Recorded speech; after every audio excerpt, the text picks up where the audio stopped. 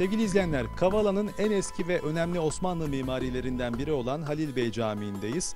16. yüzyılın ortalarında yapılan cami şu an müze olarak faaliyet göstermekte. Hemen yanında bir de medrese bulunuyor. Çeşitli restorasyonlardan geçtikten sonra günümüze kadar gelebilen bir cami. Olur da Kavala'ya gelirseniz bu güzel yapıyı görmeden Kavala'dan gitmeyin.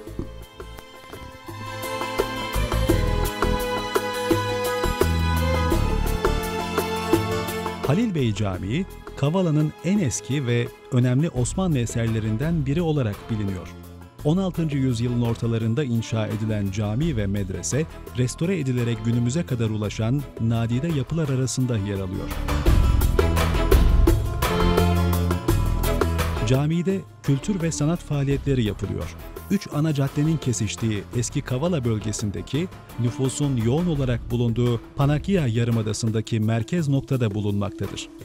Cami, erken Hristiyan bazilikası temelleri üzerine 1530 yılında inşa edilmiştir. Hala varlığını koruyan cami, görülmeye değer bir eser.